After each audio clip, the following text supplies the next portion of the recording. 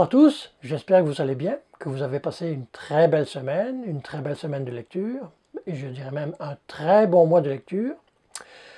Euh, nous, qu'est-ce qu'on va faire aujourd'hui? On va faire un book haul, le premier book haul de cette année 2024. En tout et pour tout, j'ai acheté 6 livres, 3 livres neufs en librairie, et puis 3 livres en seconde main.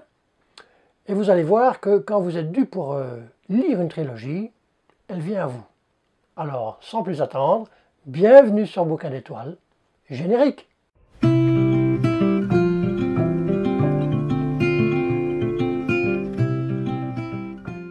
Alors, c'est parti, je vous présente le premier livre que j'ai acheté en 2024. Il faut vous dire que quand je suis arrivé dans la librairie, j'avais déjà euh, prévu euh, mon secteur, et puis euh, quand je l'ai vu, je me suis dit, faut que je l'achète. J'ai craqué. Franchement, c'est euh, craqué pour deux raisons. La couleur et puis ben, pour ce qu'il y a dessus. Je suis un amoureux des éléphants. Donc, Agatha Christie, une mémoire d'éléphant aux éditions Le Livre de Poche. Euh, Agatha Christie l'a écrit en 1972, c'est son avant-dernier. Pourquoi je vous dis euh, cette date? Parce que le premier que j'ai lu, Témoin muet, c'était un roman de 1937 et donc j'aimerais bien, au fur et à mesure que je vais lire les Agatha Christie, de les mettre sur une belle rangée dans ma bibliothèque et par ordre de, parution. Donc euh, voilà. Alors, de quoi ça parle? Ce roman est un peu particulier, dans le sens qu'il en existe euh, trois autres que, Agatha Christie a écrit, et dont le, quand, je vais dire, quand euh, Hercule Poirot arrive et commence son enquête, ben, le, meurtre a déjà été perpétré il y a des années. Ici, c'est le cas. Euh, les trois autres, là je vous les lis, euh, après recherche, c'est les cinq petits cochons, euh, non pardon, cinq petits cochons, la dernière énigme et Némésis, qui sont dans le même style. Ici on est sur un, double, un double suicide d'un couple le, couple Ravenscroft, euh, qu'on a trouvé euh, mort dans leur, euh, dans leur manoir à Overcryft, et donc 12 ans plus tôt.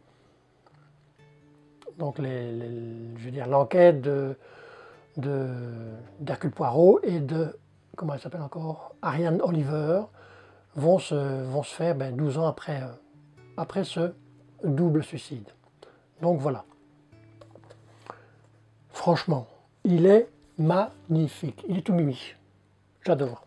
Le deuxième achat neuf en librairie, c'est Druide de Oliver Perrou. Alors tout d'abord, qui est Oliver Perrou C'est un auteur français. Euh, ici, on est sur son premier roman qu'il a écrit en 2011 ou qui est publié en 2011. Euh, depuis, il a fait euh, une trilogie qu'on appelle Les Martyrs, mais en fait c'est un nouvelliste un illustrateur de bande dessinée. Donc voilà pour, euh, pour l'homme. Et puis euh, cette, cette, lecture, je vais la faire en lecture commune avec les lectures Almeara. Donc c'est toujours un plus. Alors de quoi ça parle? Ici on est sur un roman fantasy, fantasy enquête. On est en 1123 dans un monde qui est, comme je dirais, euh, divisé en trois, trois grandes parties. La partie nord, euh, on retrouve euh, les hommes d'acier, les hommes euh, du froid, le sud qui est plus peuplé par des tribus nomades, et le centre qui est recouvert, qui est couvert par une immense forêt où vivent les druides. Et à un moment donné, il va y avoir un meurtre, un massacre de 49 soldats dans le nord. Et c'est un druide euh, je ne me rappelle plus son nom, Obrigan, le druide Obrigan, qui est un, maître loup, qui va être chargé de faire l'enquête sur ce, sur ce massacre, parce qu'il y a certaines rivalités entre, je dire, entre deux familles, euh, donc pour, pour, garder le, pouvoir. Donc euh, c'est ça, il va faire l'enquête et il va être, je vais dire, il va faire cette enquête accompagné de ses deux acolytes de ces deux apprentis. Donc voilà, je ne sais pas, euh, j'en ai eu quand même quelques retours qui sont pas mal en général positifs. Donc je me suis dit pourquoi pas? Et en plus, connaître un nouvel auteur, lire un nouvel auteur, c'est toujours du bonus. Donc, voilà. Le troisième livre acheté en neuf, c'est La bibliothèque de minuit de Mad Haig. Mad Haig est un euh, romancier, journaliste euh, britannique. Il a fait mm, quelques non-fiction et fiction, dont euh, les trois, ses trois œuvres principales. Celle-ci n'en est pas une c'est, euh, je, vous, cite, les Radley, les humains et rester en vie. Donc, comme je vous dis, celui-ci n'est pas dans ses, dans ses œuvres principales. Mais bon, des fois, c'est, pas plus mal de, rentrer, comme on dit, par euh, la petite porte. là, je vais vous lire le, quatrième de couverture, qui est assez, assez court quand même. À 35 ans, Nora Seed a l'impression d'avoir tout raté. Lorsqu'elle décide de mettre fin à ses jours, elle se retrouve un soir dans la mystérieuse bibliothèque de minuit. C'est sa dernière occasion de reprendre en main son destin. Si elle avait fait d'autres choix, que se serait-il passé? Avec l'aide d'une amie bibliophile, elle entre dans le jeu. Elle n'a qu'à se servir dans ses étranges rayonnages, tourner les pages et corriger ses erreurs pour inventer l'existence parfaite. Pourtant, les choses ne se déroulent pas comme elle l'imaginait. Avant que minuit sonne, pourra-t-elle répondre à l'énigme la plus importante Qu'est-ce qu'une vie heureuse? Euh, Du Sunday Times, une lecture étonnante, pleine de chaleur et d'humour. Et chez euh, Maxi, un roman simple et touchant qui va droit au cœur. Je ne sais pas si c'est une. Euh, si c'est plus une, lecture, comme on dit, feel good ou. je ne sais pas trop. Enfin, on verra. C'est ça, on verra. Alors allons-y pour les trois livres que j'ai achetés en seconde main. Euh, et quand je vous dis, que je vous disais euh, en début de, vidéo, mais que finalement quand euh, vous devez, une que vous devez lire une trilogie, ben, la trilogie vient à vous, c'est clair. Et là j'en ai la preuve.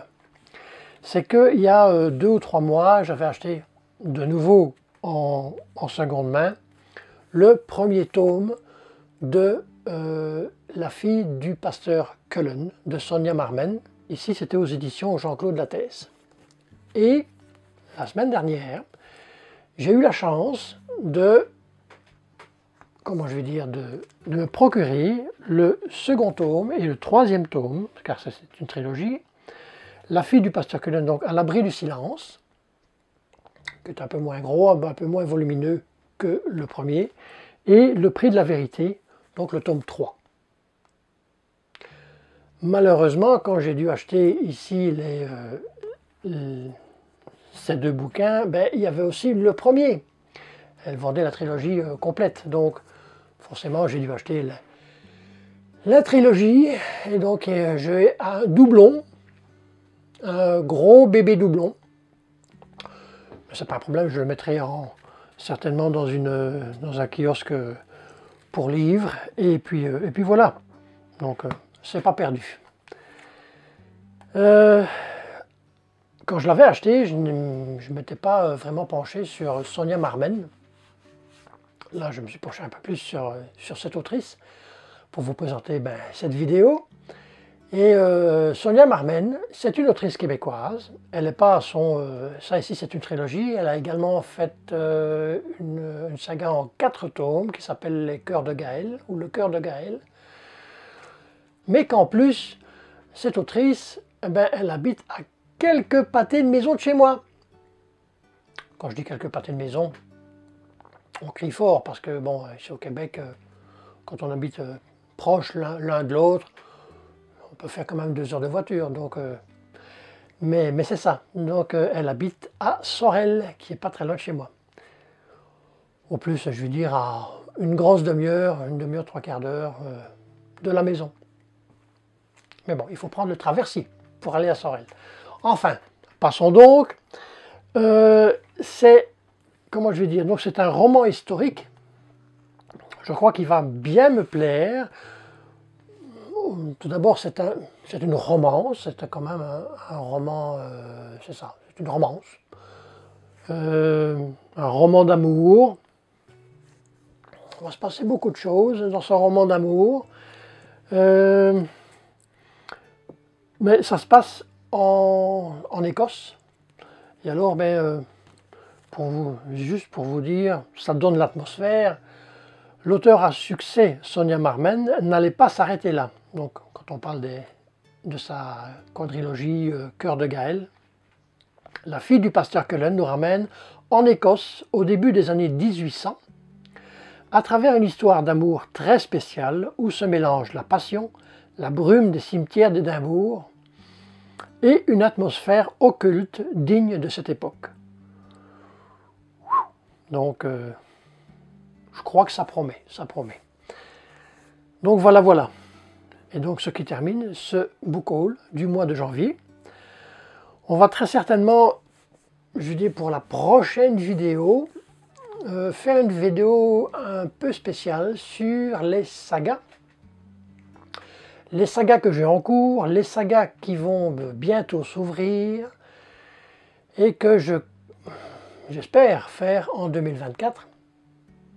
Pour l'instant, j'ai, euh, juste pour vous dire comme ça, euh, pour faire déjà un petit, prologue pour la prochaine vidéo, pour l'instant, j'ai sept, sagas en cours et euh, une saga que j'aimerais bien relire. Une saga en sept tomes, donc euh, je ne sais pas trop si vous avez une... Euh, enfin, il y a beaucoup de sagas qui sont en sept tomes. Et, et puis, ben, c'est ça, les, les, sagas qui, seront, qui viendront agrandir mon, mon quota de sagas. Comme à l'habitude, si vous avez déjà lu un de ces livres, vous pouvez euh, en commentaire vous, lâcher et dire ben, ça a été un coup de cœur, j'ai moins aimé, euh, c'était pas une bonne lecture. Qu'importe, ce sont toujours des commentaires que j'apprécie. Et puis si, vous avez fait aussi ben, de bons achats, si vous êtes persuadé que vous avez acheté un coup de cœur, un coup de cœur sans lire, c'est pas un coup de cœur, mais euh, déjà par la couverture, comme comme celui-ci. Je sais pas si ça va être de l'excellente lecture, mais la couverture est top. C'est un petit apartheid. Je le fais très rarement. Je ne sais pas encore euh, combien de personnes me suivent actuellement sur la vidéo. Toujours en, fin de vidéo.